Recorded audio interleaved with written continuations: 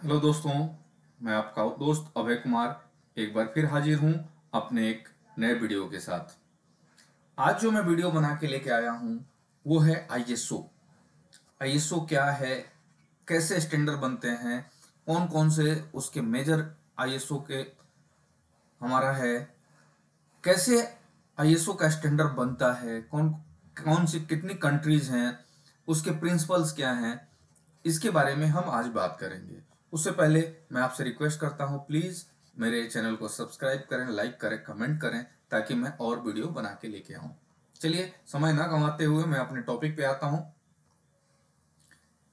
जैसे कि आप यहाँ देख पा रहे हैं कि आईएसओ आईएसओ क्या है? व्हाट इज़ आईएसओ तो आईएसओ का फुल फॉर्म होता है international organisation for standardisation international organisation for standardisation ऐसा ऑर्गेनाइजेशन जो स्टैंडर्ड बनाता हो, ऐसा इंटरनेशनली ऑर्गेनाइजेशन जो हमें एक स्टैंडर्ड बना के देता है। ठीक है? तो मैक्सिम अभी क्या है कि ऑल ओवर वर्ल्ड में 167 जो नेशनल है, इसके मेंबर हैं। 167 जो देश हैं, वो इसके मेंबर हैं। ओके? अभी हम सबके दिमाग में एक आता है कि भाई, आईएसओ स्टैंडर्ड बनता कैसे? स्टैंडर्ड कैसे बनता है? ये कौन डिसाइड करता है? तो उसके लिए 20 बॉडीज हैं और 250 टेक्निकल कमिटीज हैं किसी एक स्टैंडर्ड को बनाने के लिए। ये सारे लोग उस पर अपना विचार रखते हैं, मंथन करते हैं, स्टडी करते हैं और वो सबके थ्रू प्रोसेस होने के बाद वो एक स्टैंडर्ड का एक शेप लेता है और उसके बाद वो उसको सर्कुलेट किया जाता है। उसमें किसी भी तरह की खामियाँ को सारे लोग एक दूसरे से डिस्कस करते हैं, एक दूसरे से बात करते हैं और खामियों को दूर करने का प्रयास किया जाता है। क्योंकि अगर किसी तरह का खामी रह जाएगा तो किसी ना किसी को उसे प्रॉब्लम होने की संभावना रहेगी।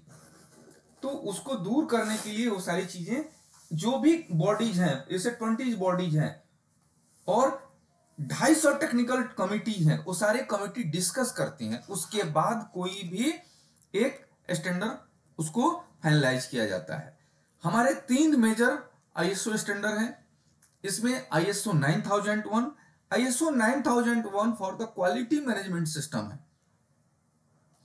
आईएसओ 9001 क्वालिटी मैनेजमेंट सिस्टम के लिए वो सिस्टम आईएसओ 9001 हमें ये गाइड करता है कि क्वालिटी को कैसे मैनेज किया जाए क्वालिटी को कैसे इंप्रूव किया जाए।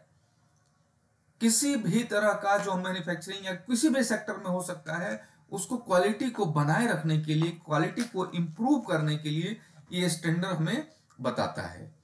फिर इसके बाद आता है आईएसओ 14001 आईएसओ 14001 है environmental management system environmental management system इस स्टैंडर्ड में हमें यह बताता है कि इन्वायरमेंट को कैसे हम कोई भी मतलब उसको क्या बोलते हैं पॉल्यूट होने से या इन्वायरमेंटल को कैसे सस्टेन किया जाए उसकी क्वालिटी को कैसे इंप्रूव किया जाए, इस सेक्टर की, इसके बारे में हमें आई एसओ फोर्टीन आईएसओ 14001 हमें गाइडलाइन प्रोवाइड करता है।